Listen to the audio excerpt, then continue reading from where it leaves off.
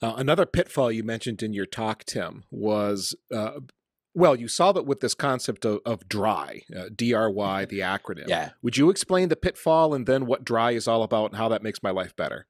Yes. So this is a, a, pitfall from the coding side of the house versus the infrastructure side of the house. Uh, dry is a methodology from programming development called Don't Repeat Yourself.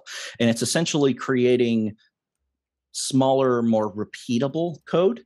With infrastructure as code, you can actually, if you have, you know, you, so let's say you have your infrastructure and you have everything built, but you have multiple versions. You have production, you have staging, you have testing, you have QA, you have all the things.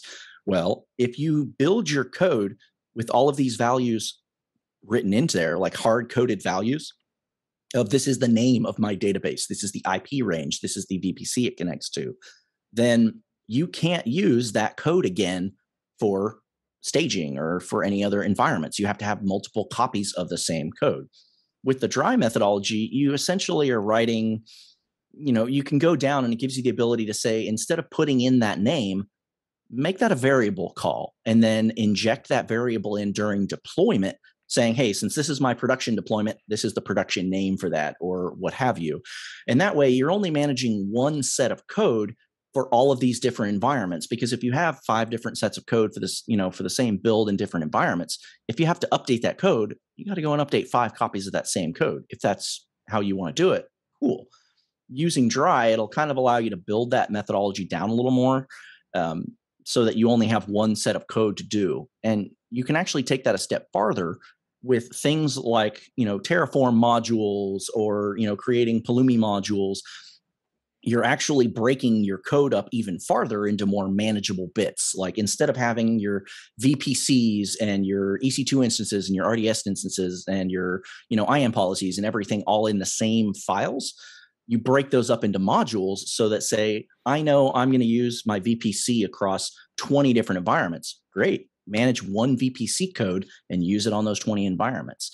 Um, so it just allows you to have little smaller chunks that you can reuse yeah, which can be a change of thinking for an infrastructure professional that's used to doing some Oh, long yeah. linear process to deploy some complex set of infrastructure. Um, They have a playbook or they have some process they follow. Okay, now I got to break this all up modularity so I can snap together a process that's more like Lego bricks. And then the next time Right. I've got to fix the thing, I've only got to fix the thing in this one place. And then the eight other places that call that one place are already fixed for me. Yep. Yeah, it, it's it's definitely it's it's a different thinking from an infrastructure perspective, but it's also at a, a place where a lot of infrastructure folks were trying to get. Um, you know, way back when I was an engineer, I was working, you know, with customers. We had I was a VMware infrastructure engineer specifically, and we had vRealize automation, and we were trying to build reusable templates of the deployment meth- uh, architecture so that we could essentially just say hey we need a new you know development environment. Hit the button it spins everything out and you're good to go.